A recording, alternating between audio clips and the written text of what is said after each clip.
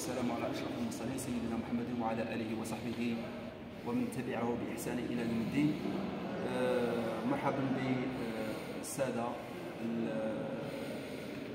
المتحصلين أو الطلبة المتحصلين على شهاده البكالوريا لدوره جوان 2022 مرحبا بهم في رحاب كليه الحقوق بجامعه عين تمشنت بالحاج بوشعيب رحمه الله. اذا إحنا اليوم رانا في هذه الكلية من أجل أن نبين للطلبة ما هي مجمل التخصصات الموجودة على مستوى هذه الكلية كيف يتم تكوين هؤلاء الطلبة للولوج بهم في عالم الشغل لكي يكونوا قاطرة هذه هذا المجتمع.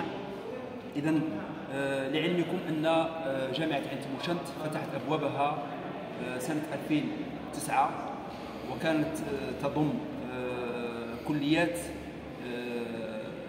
كليات كلية العلوم الاقتصادية كلية العلوم وكليه الاداب ثم في سنة 2012 فتحت كلية الحقوق أبوابها في هذه الجامعة. ومنذ ذلك الحين وهي تكون كوكبة من الطلبة. والآن لدينا طلبة طلب الدكتوراه على مستوى كلية الحقوق. فمفخرة لنا أن هذه الجامعة أصبحت تكون طلبة الدكتوراه الذين سوف يكونون في مستقبل الأيام أساتذة بيننا زملاء لنا. ف ندعو من هذا المنبر كذلك الطلبة على أن يكون لهم الجدية في العمل والعمل الدؤوب من أجل أن يكونوا خلفا لنا ويكونوا خير خلف لخير سلف. وهذه سنة الحياة لأن آه، في الحياة تدافع كما قال المولى عز وجل ولولا دفاع الله الناس بعضهم ببعض لفسدت الأرض فسوف يدفعون بنا ربما إلى التقاعد ويحلون محلنا بحول الله تعالى إن كان في العمر بقية فها هو طالب من بين الطلبة الذين التحقوا هذه السنة في الجامعة.